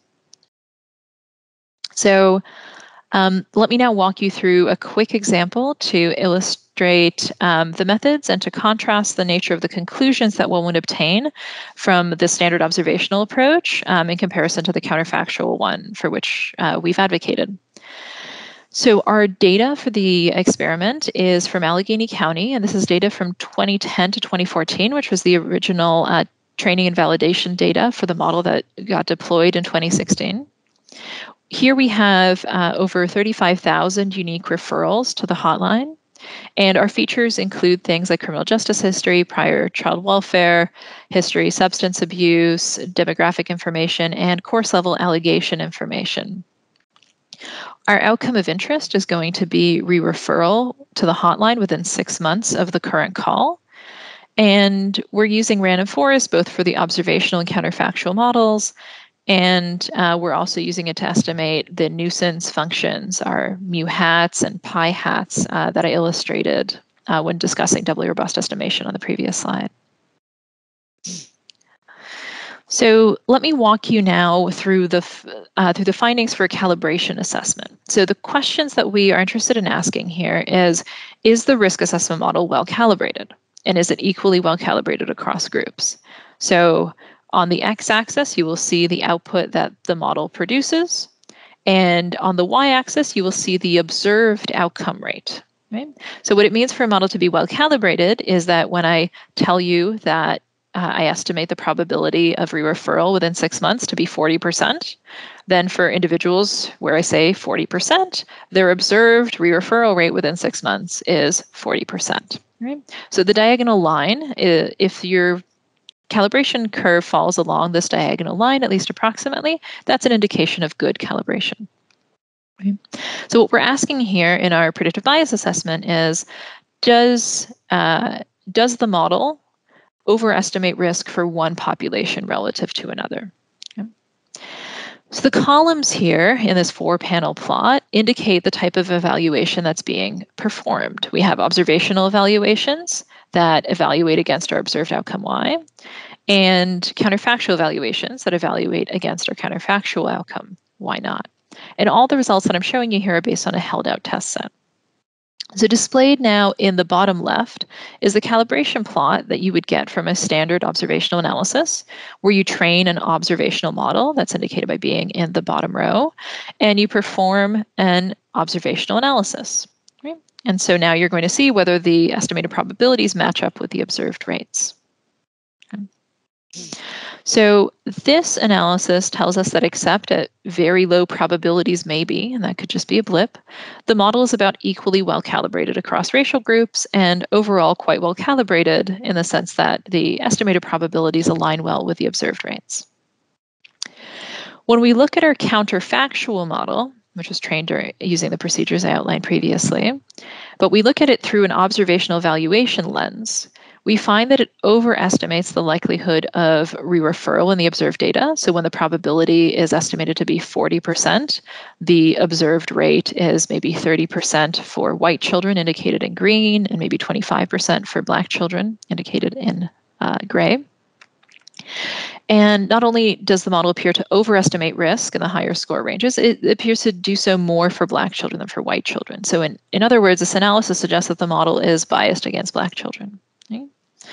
And now, the issue that I want to draw your attention to here is that even when um, when people build risk assessment models that are trained in a way that produces something that is counterfactual, they're often evaluating them against observational outcomes. So you would see this sort of miscalibration, not because your model is wrong, but because your evaluation strategy is not coherent with the goals of your model.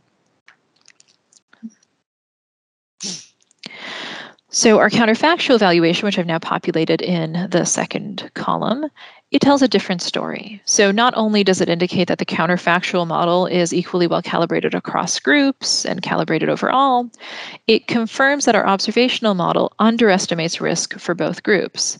So for instance, when the model assesses the risk to be, let's say 20%, the actual observed risk is much closer to 30%, right? Counterfactual risk, sorry, is um, much closer to 30%. And the racial disparities that we saw previously um, are actually found uh, uh, are actually found to be due to differences in historical screen-in rates and the effectiveness of interventions in mitigating risk across groups. So what we saw in the top left panel under observational evaluation was actually getting the story mixed up between the predictive ability of our model and historical decision making and treatment effectiveness. So this last point is important. I want to emphasize it. When we see this type of calibration, as is shown and highlighted in the top left, our response is often to seek some sort of technical solution, um, some sort of post-processing or retraining approach to remedy it. But in this case, the observational disparity is not due to the model failing. Um, it's in part due to investigations being more effective in mitigating risk for Black children. So, fairness correcting for this sort of disparity could lead to Black children receiving lower scores and thus being underserved if those recommendations of the resulting tool are adhered to and those children wind up receiving uh, a lower rate of services to mitigate their risk going forward. So, in our paper, we formally characterize when these sorts of fairness correcting interventions based on observational disparities produce counterfactual unfairness. So, I'm not going to describe that here, but you do get some nice results that precisely point to uh, differences in historical uh, treatment assignment and intervention effectiveness as being the key components. So, let me um, just end with a summary of the material that I've just presented, right? Every talk should uh, tell the audience what you're going to tell them, tell them, and then tell them what you've told them. So, in summary, the standard observational approach to learning and evaluating risk assessment tools, which is extremely widely used, is something that is ill suited to supporting decisions. Firstly, it underestimates risk for those who benefit from interventions. It also assesses model performance and predicting outcomes under historical decisions, not under proposed or baseline decisions, which is precisely what we need for the purpose of guiding decision making going forward.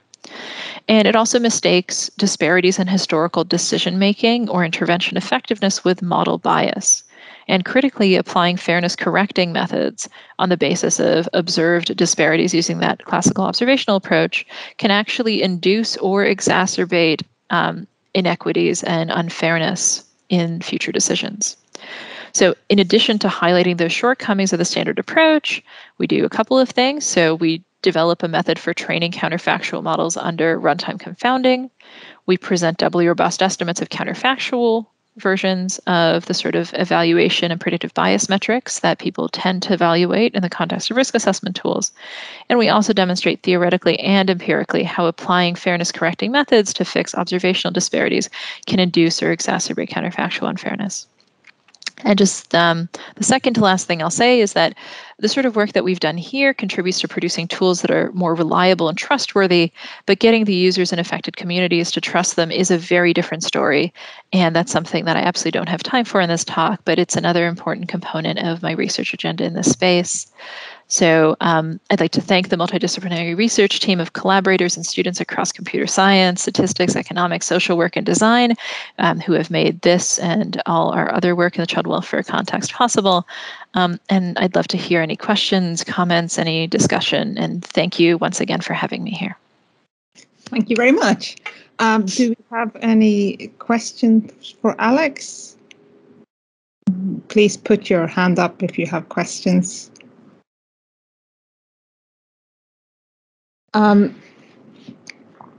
so often, my understanding of counterfactual methods is that you have to put in a lot of assumptions to make up for the fact that you're solving a very hard problem and you're acknowledging it.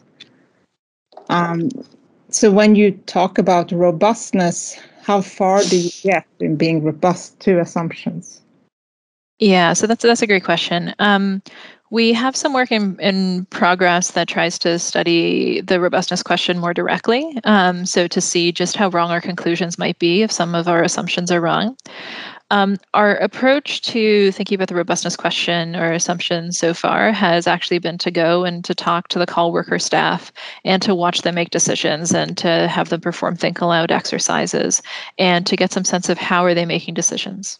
So there are things that we obviously can't capture about their decision making process, um, and those things might fall under the category of noise. These aren't confounding factors that influence both their decision and um, provide them some insight into the likely outcome that we're trying to forecast for the case, but it's things like the person had a bad day or the previous, or they've just screened in a bunch of cases and that's not what they usually do. And so they might have a bias to screen out the next one. But that that's all around that's all around noise. So what we're really concerned about is are we capturing the sort of factors that they think about? Um, and the things that we might miss is some information that comes through on the allegation that isn't simply its nature or information about prior referral history. Um, I I don't have numbers for you about how wrong we might be, but we feel pretty good um, that we're at least doing our best in this um, this analysis of the text notes, where the call workers further justify their historical decisions. Once that's complete, I think it'll give us a much clearer sense because they really do document the things that they took into account, not all of which are available in the administrative records that we've analyzed so far. Is there anyone who studied whether people self-censor because they're not supposed to take this into account, but their human experience would tell them they should? That's right. Um, so I don't I don't have any hard data or anecdata about that question, but I think it's a really interesting one, um, and it's one that has come up when we even put in the proposal to analyze um, the case note uh, free text data. Um, we uh, in going through the consent process with our IRB, a big point that we had to address is not obtaining informed consent from the child welfare staff because we were concerned that knowing that their notes were now being scrutinized and scrutinized at scale by a research team might actually change their recording practices, which is not what we want institutionally. Yeah. Yeah, imagine. Uh, Eugenie, I think you were before Jane. I think Jane was first. Okay, Jane then, sorry. Uh, okay, thanks. Uh, very nice talk, thanks, Alex. And in fact, Sophia's question leads into mine, which was Do you think there is any, what do you think the scope and the possibility of randomized controlled trials of methods is in this area?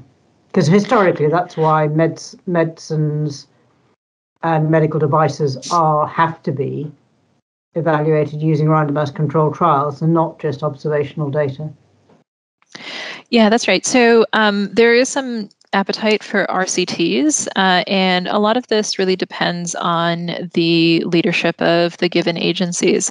Um, when the leadership comes from um, a background in some sort of evidence based practice, for instance, the uh, the new deputy director of uh, the Allegheny County Department of Human Services, within which uh, Child, Youth, and Family Services lies, um, is an economist by training um, and certainly has a strong appetite for this sort of experimentation. Um, there are many opportunities, and there have been randomized controlled trials um, run in this context to investigate, for instance, the influence of explainability methods. Because um, right now, the tool in Allegheny outputs a score but does not uh, justify its prediction, and there are many interpretability or explainability methods that have been proposed, and this has been studied in the context of uh, Douglas County, Colorado, for instance.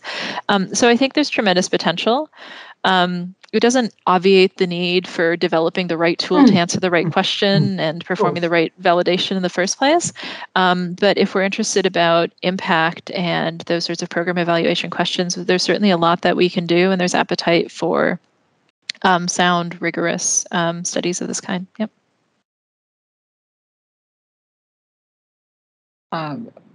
Jane, did you have anything uh, to follow on, or, or should I proceed? No, no, thank you. Thank no. you. Eugenie? Okay, once again from the educational context, um, have you you mentioned that you had some synthetic data that you had used for this? Obviously, the data, the raw, the the actual data is tremendously sensitive. Um, but is there uh, is the synthetic data available for for use? By people to sort of try to and did you create for instance you know an r vignette in which you go through the methodology using that um, using that synthetic data I, I wish we had. Um, and when um, when Amanda has more bandwidth, I think this is the, exactly the sort of thing that I'm going to encourage her to do. Um, because when the discussion came up earlier about we need more case studies, I think this is so critically important. Um, every time I write a grant proposal, there's you know a section of broader impacts coming through, like case studies and reports that are broadly accessible, like white papers. Because no, let's be honest now, no one actually wants to read my research paper um, except for maybe the reviewers. I'm not sure that's, that's only true, because but, yeah. But I um, think we're trying to, you know, put out this stuff to to people working in industry who have limited time and wish to just investigate, and they want to know, okay, so let me get some case studies in which I can understand the concepts and practice them, and that's have right. some sort of code that I can that I can possibly use for for looking at analogous questions. And I think that would be really tremendously valuable. That's right. And let me just tell you, um, related to this, something I'm really excited about, which is um, some of the recent work on uh, differentially private synthetic data generation um, that's been okay. coming out. So, mm-hmm. working with synthetic data is um, it's not really attractive, right? You don't necessarily know what you're working with. Um, it's difficult to generate it to reflect reality. And if you try some sort of like semi-synthetic approach where you know you're modeling your existing data and then creating a synthetic version of it, um, maybe you are actually leaking information, right? So how do we have private, like provably, certifiably private disclosure of this sort of data, so that, for instance, more people can participate in auditing processes of these types of models, more people can participate in program evaluation and so that we can facilitate education through case studies that are as realistic um, as possible. Um, so, you know, we don't have methods that work uh, extremely well and that are publicly available and easy to use, right? So it's one of these things like pick two of three. Um, but uh, we're getting there. This is something I'm really excited about in terms of its potential for um, making these tools um, and the learning of these tools much more accessible. Oh, that'd be great. Um, if you have any links to just something to read about about that as well, um, if you could slip them in the chat, that would be great. Sure. Let me uh, pull something up. Thank you. Do we have any more questions from the audience? Um, well, thank you for an absolutely excellent talk, uh, both to you and to Marion. Uh, we're now going to have some closing remarks by Sophia, the other Sophia, the smart one. Um,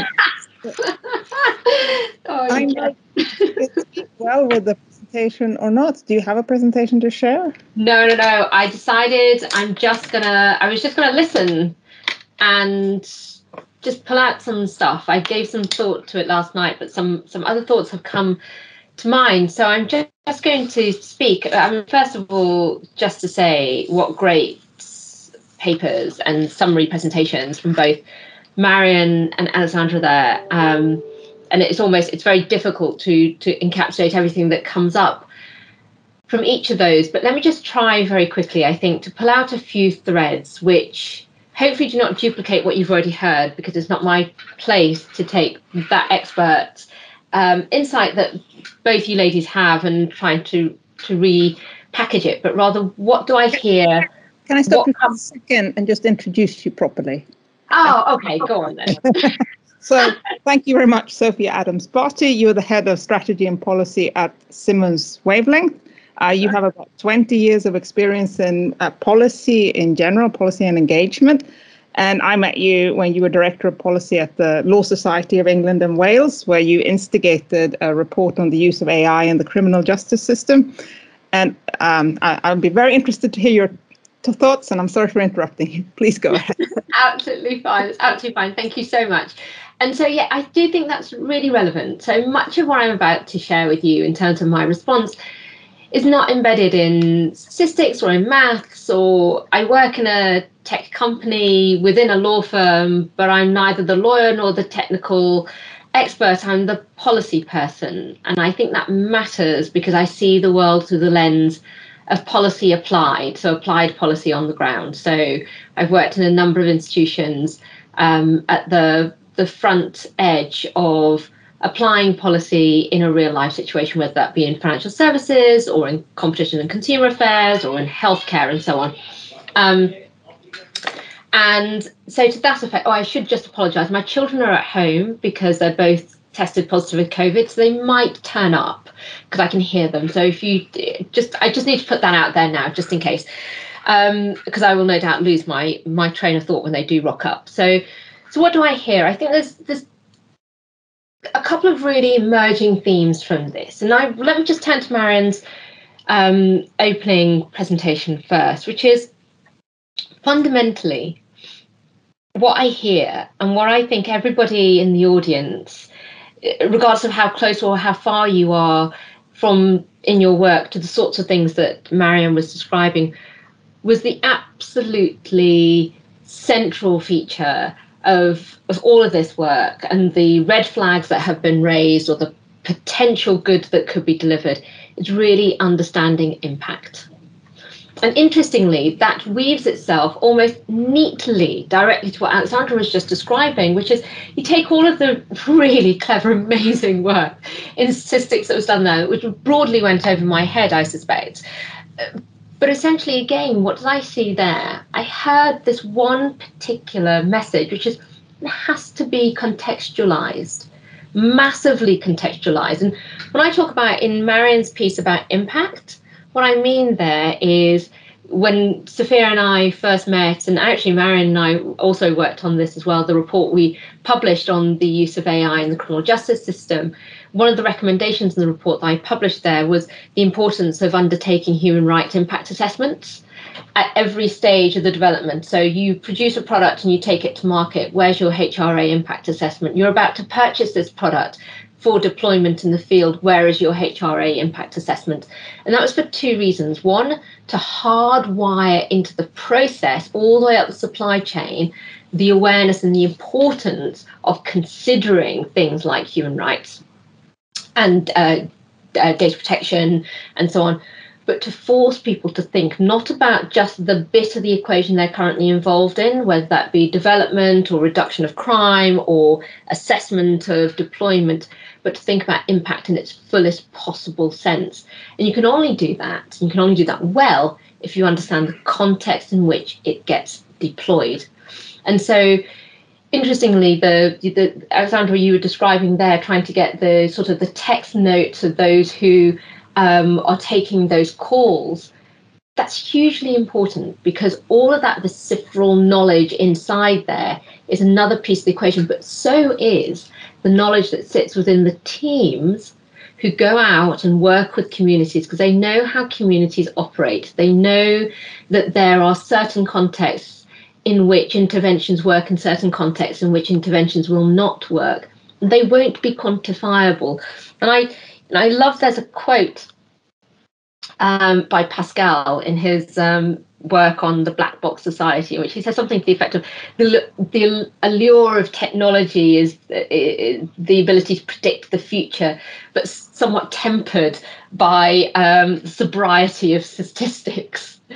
Uh, but there is this massive allure, which is if only we could decipher really complex human behaviors and put it in a neat little box and give it a statistics label and beware of the policy, uh, the weakness in the policy making agenda of wanting to rely and fall back on something that looks like it's done it. It looks like the silver bullet. It looks like it has the answer. It looks objective and it solidly looks like it's got a formula. Therefore, it must possibly be right.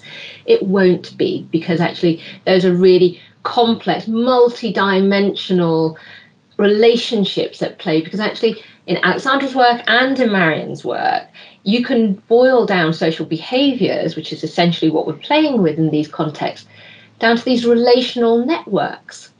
And human relations are incredibly complex. And I think therein is a is a is both a, um, a thematic but a really important warning label, one that actually I should be saying to our policymakers and the, and the deliverers of our public services, which is they must not become lazy, but equally to those who are in the sitting in the hot seat of developing these tools, which is that is exactly what will happen. there is a tendency to want to because that's easier. I think there's a really strong sense of um, the other big theme that I wanted to pull out, which comes up in Marion's piece, and Alexandra, you didn't quite get a chance to talk about this one. I was really, you know, maybe in another another moment in time we can come back to it. But I want to talk about trust for a moment. And I see in both Marion's work the importance of um, building systems which are both trustworthy, I demonstrate that they are trustworthy through transparency, through accountability. So, Marion, I love those that three pillar approach. But as a regulator of 25 or so years, I would say that actually there is a num- there are a number of how do I describe them? Number of tenets of well functioning accountability systems, and they rely very squarely on um, appetite for intervention, and that is necessarily linked with the risk correlation. And you see some of that coming out in the European regs, don't we? Which is high risk applications.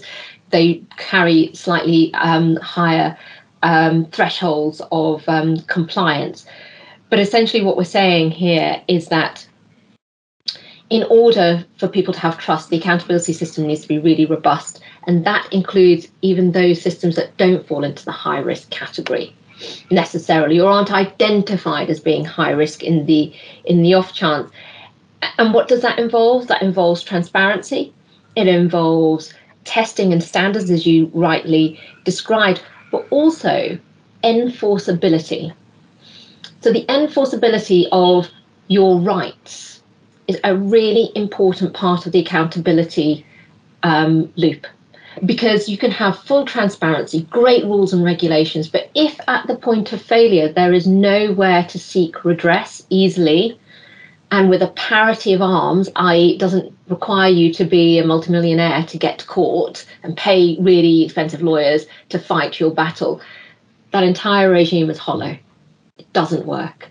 And because it doesn't work, that it has a cyclical effect because the deterrence falls away. And when deterrence doesn't exist, away drops compliance. Well known 101 of regulation. So I think they're really important tenets of how do we see real life application to these sorts of things. And the link from that to Alexandra's piece on trust is Alexandra, just at the end, you got to that point where you said um, you might well build these really uh, robust methodologies of assessing risk um, that uh, factor in for all of the concerns for some for many of the concerns maybe not all of the concerns many of the concerns that people um, like i and others have raised. But the point at which people are willing to trust is another matter altogether. And i think here is something really quite important. And this is why actually Eugenia, when you ask your questions about how do we build training into some of the profession, it's really important because it's that training which will allow people to talk across disciplines. And what I mean by this is Michael Gove, during the Brexit referendum, famously said, the era of the expert is dead, and all us experts were aghast. Shock, horror, what terrible thing to say. And I disagree with Michael Gove on just about everything he says. So it wasn't much of a shock that I didn't agree with him then, apart from in one sense, which is actually there is a gap between the experts and the non experts. And that gap matters because increasingly, in all the data shows that deference in society is heading down and is only heading further and further down but the those that know and those that do not know that gap matters more now than it did 20 30 40 years ago the asymmetries of power matter more now than they did then and people are seeing or they're not seeing they're feeling the yawning gap and that's why when people say, but we've we've developed this really great tool and capability that allows us to take into account the three, four, five, six dimensional issues at play. Will you trust it? They will still probably hesitantly say no, especially so in communities of greater vulnerability and who are at the fringes of, because they already experience the world with huge asymmetries of power and um, autonomy um, and voice. And actually, the social contract is one which they are seeking to try and push back, and they don't want a proxy measure for another expert. They want someone to build something for them to be more powerful. And actually, what we're seeing is huge amounts of investment in tools which simply make the experts more expert.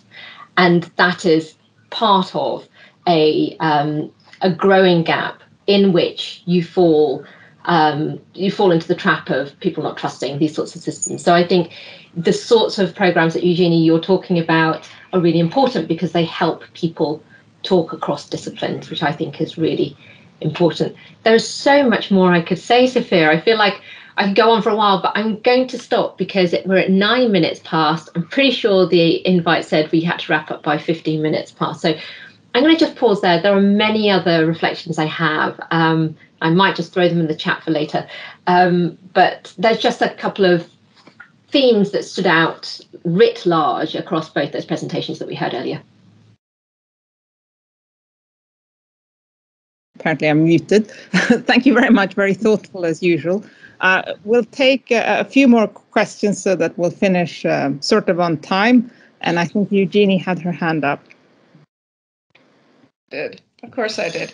Um, I, I, okay. First, first I had a comment, which is I think that one of the things that the NIST proposal does mention specifically is the need to engage with people who will be impacted by the tool, and I think that there's also an issue of whose expertise on what is considered most important. And i think that there need that that's what that's getting at is that these groups that are disempowered often are saying well we've got expertise on what our experience is and what has been a problem for us.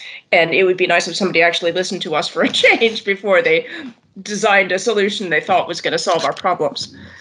Um, and i had another question i don't remember what it was but it might come back to me but i'll let somebody else step in Okay. Um, do we do we have um, any other? So, any I, I could just comment that I really appreciate that all your comments, Sophia, because at the moment you might or might not know there's strikes going on in the university sector about pensions. Yeah. And I have just had the most useless responses from the pensions regulator. Um, so, any advice you have on how one actually gets regulators. I know the All Party Parliamentary Whistleblowing Group is is struggling, but uh, perhaps we might be able to chat later another day. I gave some separate advice on how to navigate the regulators. Um, it's, it's it's an art form in of itself, but I'm very happy to lend lend lend some thought to that. Just Thank to pick you. on Eugenie's point as well a little bit, which is the user experience is absolutely vital here because I think sometimes we forget in the in the hurry to solve the problems of society, we go expert driven first rather than society and user driven first. What are the out, what are the lived experiences and the outcomes that society needs, that is asking for, and then we build towards that. So there's that really famous example of the policing, over policing in Oakland. Some of you will know that the, the study that was done in 2010, and they looked at all this, um, all the arrests for drug taking and so on in uh, Oakland, I think California. And it looked like this one particular part of Oakland was incredibly, you know, God, they're all criminals or they're all taking drugs, right? Well, let's throw, send more police there, just like arrest everyone on the street and that'll be fine. Turned out all the rich folk from the posh part of town were driving into this particular area, buying their drugs and getting caught. And that's why that particular area's crime rates were so high. The local population of that area was probably quite law abiding, but you wouldn't know that unless you lived there. And if they just walked the streets and talked to the people, they would have said, yeah, most people that buy their drugs actually come from over the border. Um, so I think that's a really good example of you need to start with the lived experience and work backwards.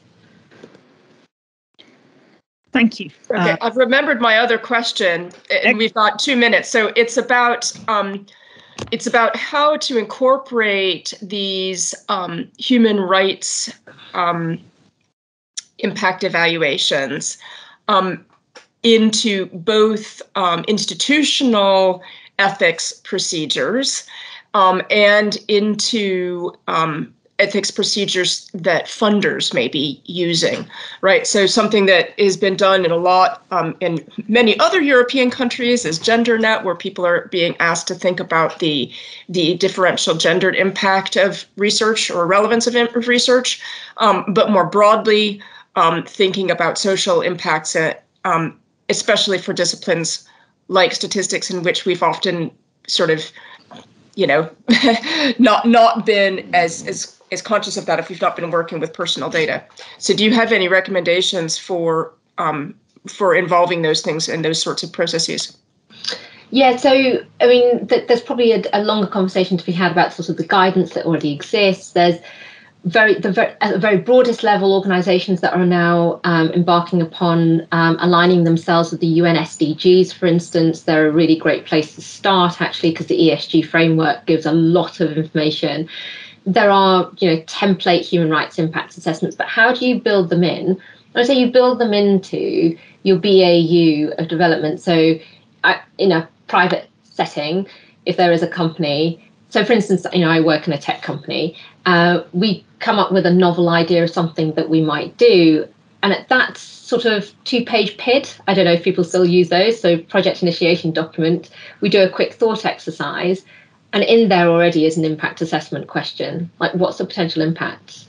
What you know, how how do we see this potentially? And at each gateway, you build it into the same routine that you would build in any other checks and balances on the development, on the purpose, on progress, project management tools, business oversight, ensuring that those key decision points are stop go and oversight, whether that comes from a board or from an ethics committee or from the executive oversight arrangements, that they have responsibility to ask for some insights as to what's happening in terms of even consideration of impact.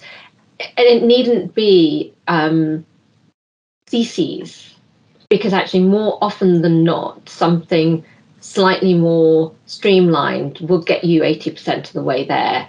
Um, as a good colleague of mine says, the sniff test is really easy. Just start with that. Just smells a bit funny. Try try again. Um, so I would say that's really important. But actually, this is a this is a grassroots movement, but it's also a top down, which is I think organisations struggle to deliver on initiatives like this uh, um, unless the top of the top of the shop is equally committed. So, um, in many respects, I would say, and I have said this previously, you can boil this down to nothing other than pure good business ethics um, or, practice of, of corporate behaviour and ethics, um, and that should start at the top.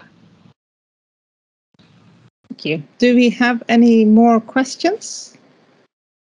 I do not see any hands up, and we're one minute over time. So thank you very much, Sophia, for keeping it all to time. Um, so thank you all for coming. It's been an extremely interesting session. Uh, we recorded the talks, um, so we'll we'll put them up and maybe uh, a few links, like for instance the NIST report that was mentioned, um, and um, there will be more activities that Maria and I will organize. So thank you also for, to Maria, who's not clapping her hands. and thank you to the speakers and Sophia for her very rapid but uh, very informative summary of all the of, of, both talks, all for two is perhaps excessive. So thank you very, very much. And I wish you all a good evening. Thank you.